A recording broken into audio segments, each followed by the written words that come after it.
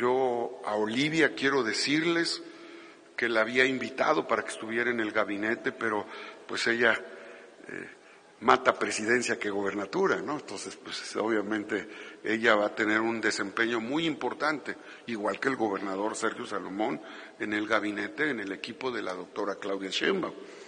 Pero estamos integrando a todos